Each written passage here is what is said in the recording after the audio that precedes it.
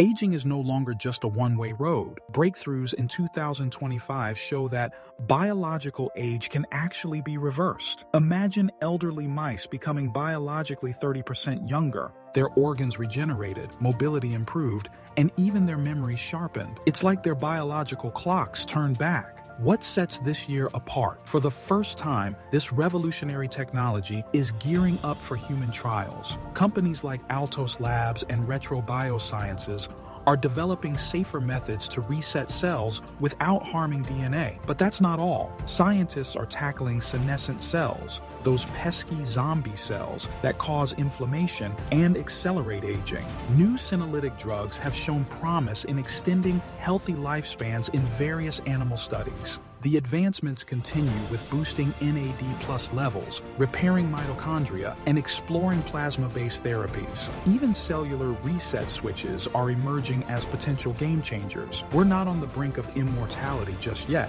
but the notion of reversing aging is becoming a reality. The big question remains, what happens when growing old becomes optional? The future is unfolding, and it's full of surprises.